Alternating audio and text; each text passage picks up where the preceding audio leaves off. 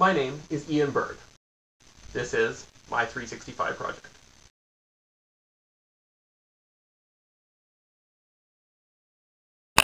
So we're here on day 72, and I'm going to talk about how to make reasonable food on a fixed income because we don't have a lot of money. And so tonight is the leftover night. We're making uh, we're making pizzas out of all of our leftovers.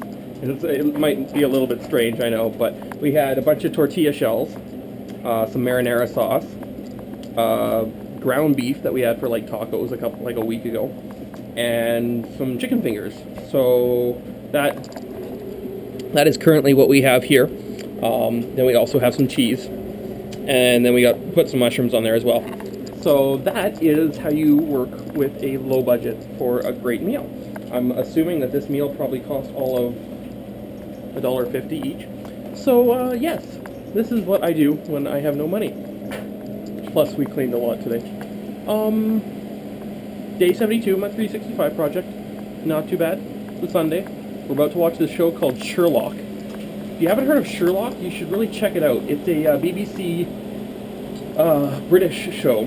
Um, there's only five episodes in existence right now. They're on season two. There's only three episodes per season, but each episode is one hour and a half. So it's like a modern day Sherlock Holmes, which is really, really cool. So if you haven't seen it before, check it out. That's my spiel. I am not being promoted or paid off by the BBC, so it's just me saying it's a good show. And there's flowers. And that's it. So you have a great day, and I will talk to you tomorrow. Cheers!